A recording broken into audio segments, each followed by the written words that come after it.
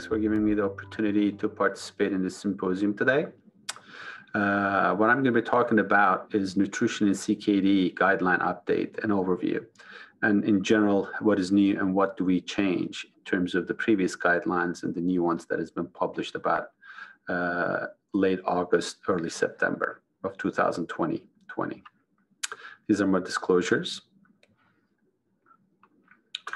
Uh, the objectives of this talk are primarily to explain a guideline development process, uh, which is primarily a multidisciplinary collaboration between National Kidney Foundation and the Academy of Nutrition and Dietetics to produce a global evidence-based nutrition guideline for patients with chronic kidney disease. Uh, for most of the talk, I will be talking about the differences between the KDOQI nutrition guidelines that was published in 2000 versus the most recent 2020 KDOQI nutrition guidelines. Why do we do this? Just the basic background information so that people understand why we need these guidelines and the update itself. Well, as we all know and appreciate, nutrition in CKD patients is quite complex. This, if I would say, is an oversimplification of the reasons why patients with kidney disease will have uh, nutritional and metabolic abnormalities. And once they have them, the bottom part actually shows the consequences of these abnormalities that really affect the patient's overall well-being and their mortality and morbidity over time. So it is really necessary for the nephrology community to have some guidelines uh, for practice uh, related to nutrition. And again, this was recognized several decades ago, and the individuals that are experts in this uh, specific process have come together and published the first uh, KDOQI nutrition in chronic renal failure clinical practice guidelines. This is a snapshot of that specific publication, and you can easily see the basic differences uh, in that uh, publication versus the one that I'm going to be talking about. First of all, there's about a 20 year, two decade difference. And again, the content and the relevant, relevance of the specific guidelines have changed substantially. And then these guidelines, at least the way they were presented at that time, were not graded, which is a primary basic concept for new guideline development in the setting of chronic kidney disease. So we needed an update. What did we do? About six years ago, we came together with a group of inter international representation uh, and developed a work group members uh, for this update for the nutrition guidelines. One of the most important aspects of these new updated guidelines is its international and global representation. This slide over here shows the pins uh, showing people coming from different parts of the world, including Europe, Asia, Australia, North and South America. So we think this is much more inclusive compared to the previous guidelines that was primarily a North American initiative. And again, at the beginning of my talk, I would like to acknowledge the people who contributed this long uh, process over five, six years. And we, uh, myself and Dr. Lilian Cuppari from Brazil actually were the co-chairs for these guidelines. And we had three different work groups uh, the macronutrients, micronutrients, and uh, electrolytes and other nutri nutrients. And again, I'm not going to mention the names, but I do appreciate everyone's participation and really, really uh, unbelievable effort to put this unbelievably important and relevant document together. Let me give you a little bit of a background information about the guideline development process. It is really important to understand the basics and the process, procedures that are need to be taken to produce a guideline that is going to be used by overall practice. So I think this slide is, it might seem a little bit complicated if you just focus on this basic premise over here, conducting a needs assessment and evaluation of the existing guidelines on the topic under investigation. So that's how we started. We actually had a previous guideline. So evaluated the guideline previously published and then need, uh, did another needs assessment in order to see what would be adding to this updated guidelines that was published recently. This specific initial uh, assessment determines the scope of the guideline, which is not that hard, but it could be really comprehensive in the way that it's being produced. And I'll show you the scope of what we really wanted to work on this uh, guidelines when we first initiated the process. Once you determine the scope, then you go to the next step, which is conducting a systematic review and drafting the uh, guideline recommendations. Now, again, this may seem simple, but in itself, the systematic review takes about three, four years to be able to formulate the question, gather the research, critically appraise the articles, summarize the findings, and develop conclusion statements and degrading the quality of evidence. So this is the part where we really spend most of our time really trying to put this guideline together. Once these draft guidelines are documented and recommendations are put together, they're actually sent out for internal and external review. And based on the recommendations, suggestions that come from the internal and external reviewers, we obtain the approval for evidence-based practice committees and then send them out for publication and what we call an evidence-based practice cycle. So it's critically important to understand that once you publish this guideline, it needs to go to this practice cycle to be actually implemented into our daily practice. What about the question development? So how did we do our needs assessment and how did we develop the scope of this guideline? First of all, you need to go through a PICO format. That is, find out who, which patients, which problem, which intervention, which condition, and which outcomes you're interested in. In basics, the questions were organized by topics and within subtopics by the nutrition care process. Again, we wanted to go through the macronutrients, micronutrients, electrolytes. And then we had an overview of questions within the subtopics that were focused on assessment, intervention, and monitoring. And I will be showing you some examples of these specific three separate questions uh, in relation to the differences that we have for the new guidelines. And then outcomes of interest are, of course, extremely important for all of us.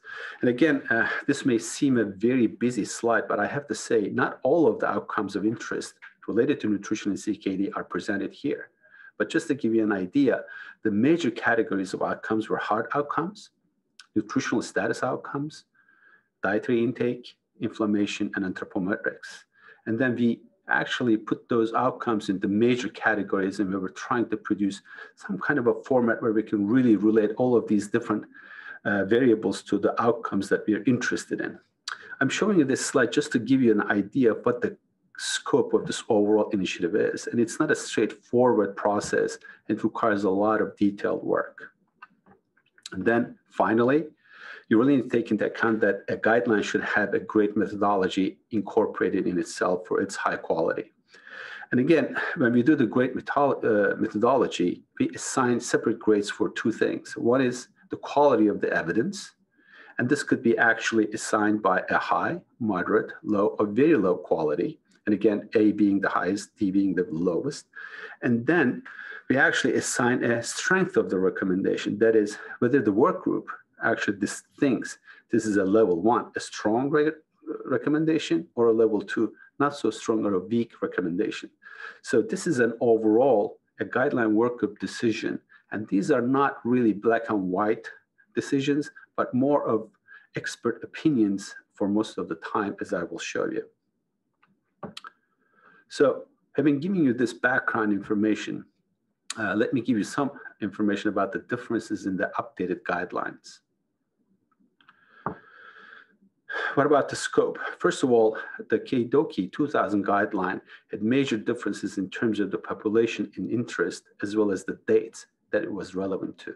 Obviously, uh, the dates, the literature search dates are different because there's a 20 year difference between the two, but we had to actually restrict the literature search to a certain period of time. And we couldn't go more than three decades because there was too many publications original uh, KDOQI 2000 guidelines were actually focused on literature search dates between 1996 to 1997. And the new one, the updated one, focused on dates between 1985 till 2016. And again, uh, the fact that we were able to limit our literature search to 2016 gives you an idea that it takes about several years to be able to put the whole document together and then publish. Now, I have to say, during the very latest review, we've tried to incorporate the most recent research that is relevant to outcomes we're interested in. And again, the top population uh, that is under interest was a little bit different between the two guidelines. In 2000, the population included maintenance dialysis and advanced chronic kidney disease uh, patients who were not on dialysis. In our new updated guideline, we incorporated information for adults with chronic kidney disease stages one through five, including dialysis and post-kidney transplant. One thing we did not do was uh, to include patients with acute kidney injury, which was included in the previous guidelines.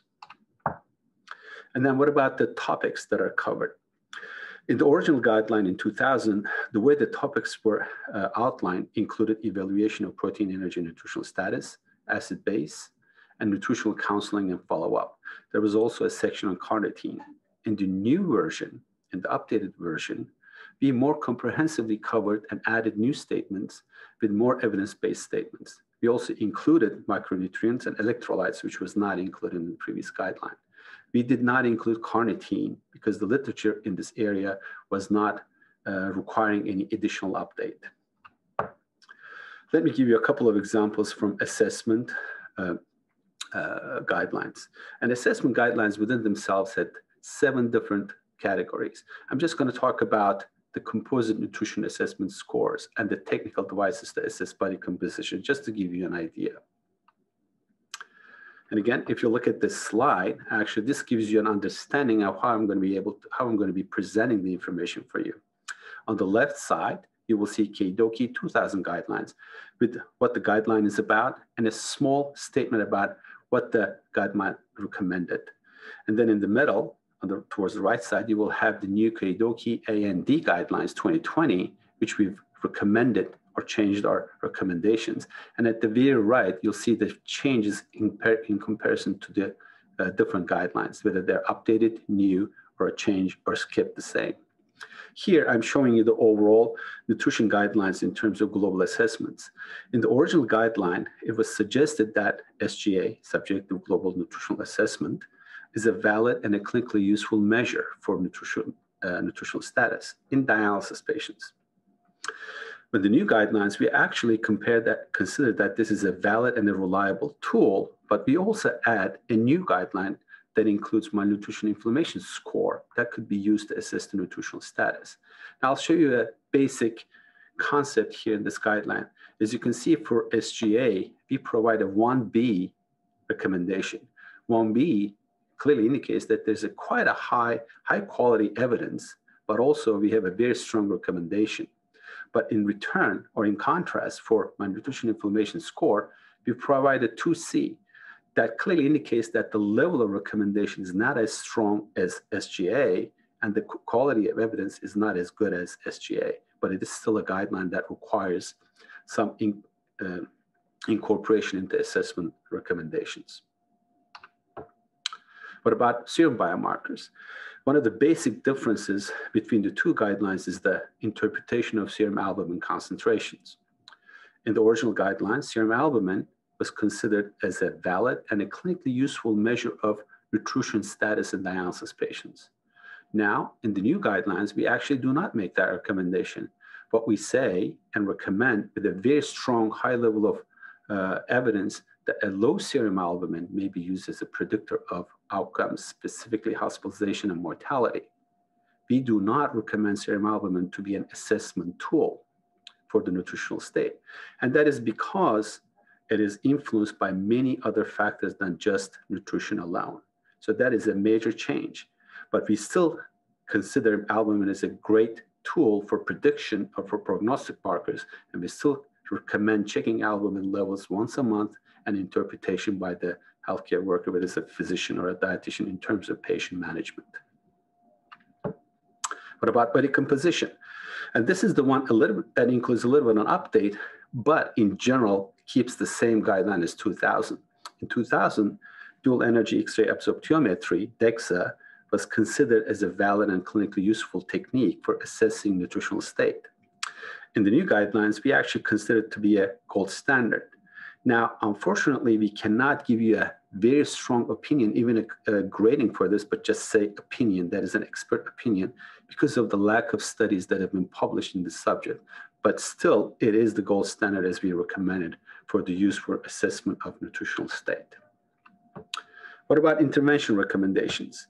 And again, this includes seven different subgroups, or actually eight different subgroups. I'm just going to give you a couple of examples that are very relevant to our clinical practice, specifically protein, energy, and protein energy supplement uh, recommendations for intervention in patients with chronic kidney disease. Let's start with dietary protein intake in patients with chronic kidney disease that are not on dialysis. In the original guideline in 2000, uh, there was not a specific uh, high evidence level of a low protein diet intake, as you can see on the left side.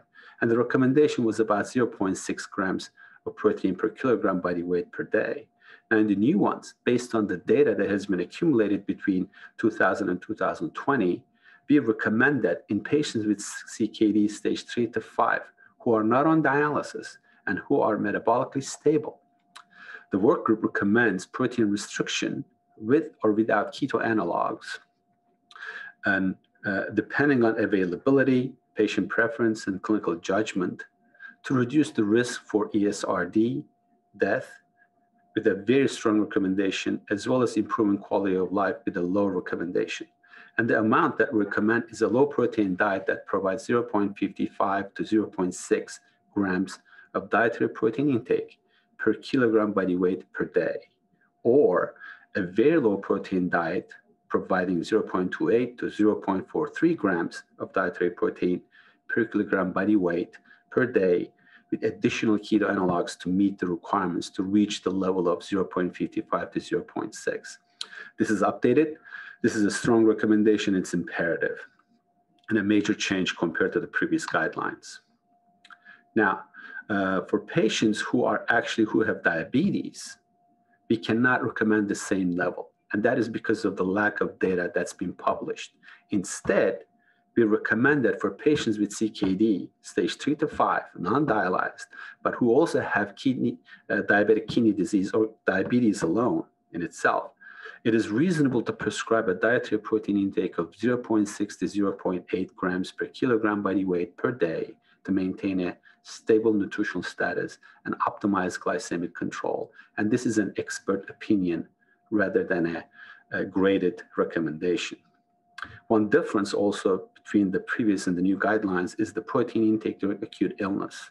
In the previous guidelines, it was recommended to take more than 1.2 to 1.3 grams per kilogram per day of protein for patients with acute kidney injury or CKD patients with acute illness.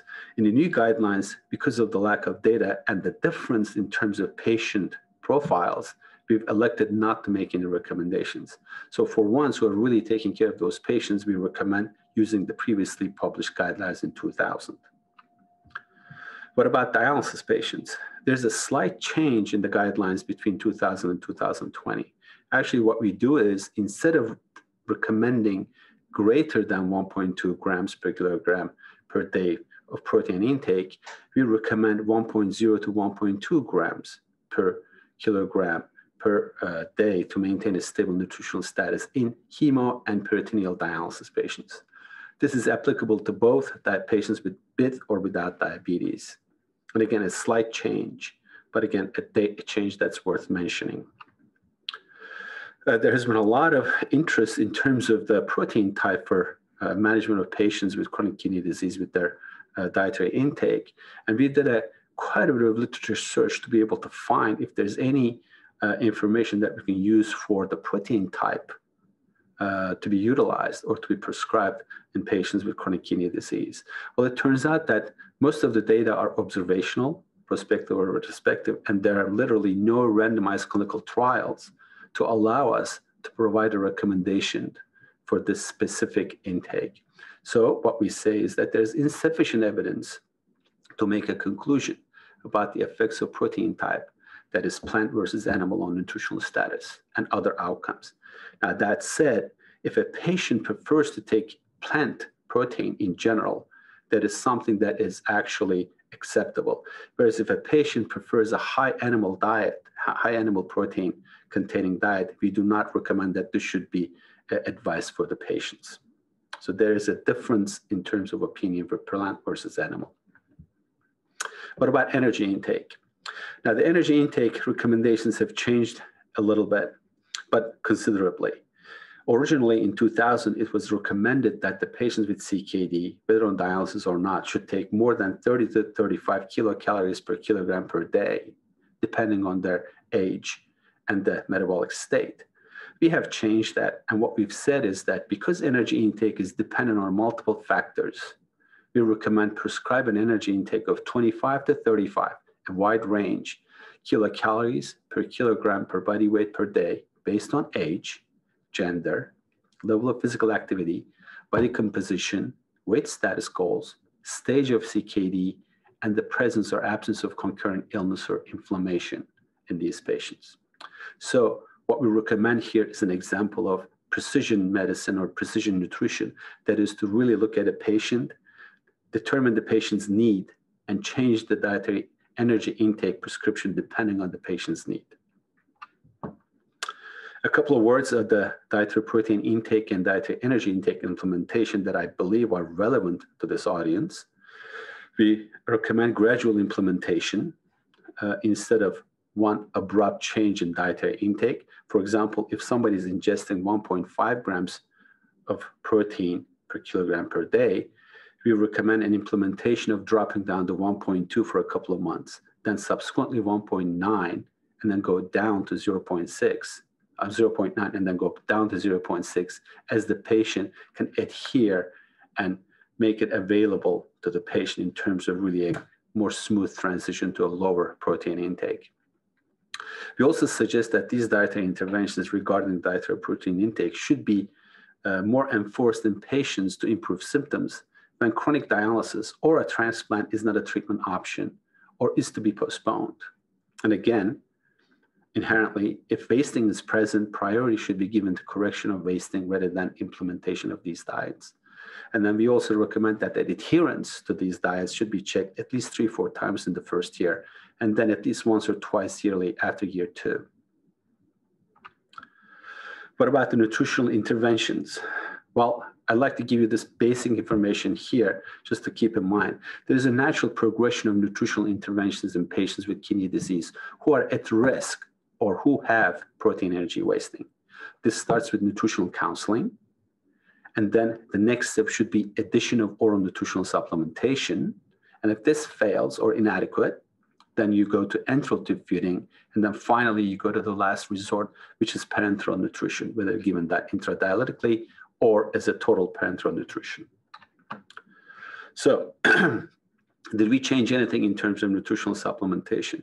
I would like to tell you that in the original guidelines, there was not a real direct recommendation in terms of what to do and how to do it. So we've learned a lot in between uh, 2000 and 2020. In the new guidelines, we suggest that in patients with advanced kidney disease and post-transplant who are at risk of or with protein wasting, protein energy wasting, we suggest a minimum of three-month trial of oral nutritional supplements to improve nutritional status. And that is only if dietary counseling alone does not achieve the sufficient energy and protein intake to meet the nutritional requirements. We recommend for people to reassess the patient's response after three months, continue or not to continue, or change the supplementation to another form. And again, unfortunately, despite the uh, obvious need in terms of how to really understand the specifics of oral nutritional supplementation, we unfortunately do not have information in terms of multiple uh, aspects of this specific intervention. These include we do not know who to give, that is, everyone in a dialysis unit or only the ones that are at risk, when to give, for example, during dialysis or in between meals or before dialysis or after dialysis, how much to give, that is, to replace what's being lost through dialysis or to supplement over and beyond of what they normally need, how long to give, that is, three months or longer, and then finally, how to monitor in terms of the response that you see after giving these interventions, supplements to the patients. I think this allows us to think about many different avenues for research in patients with chronic kidney disease regarding their nutritional state and how to intervene on those people. Uh, what about enteral and parenteral nutritional supplementation? Uh, what we recommend is that for patients who cannot attain uh, their nutritional requirements by counseling or nutritional supplement, supplementation, then uh, patients should be considered for enteral tube feeding or total parenteral nutrition or IDPN. And again, there's no clear-cut recommendation on how to do it and when to do it. And we leave it up to the clinicians and the dietitians' clinical judgment and the patient's overall status in terms of when and how long to give these supplementations parenterally. We do not recommend uh, dialysate protein supplementation in patients with peritoneal on peritoneal dialysis.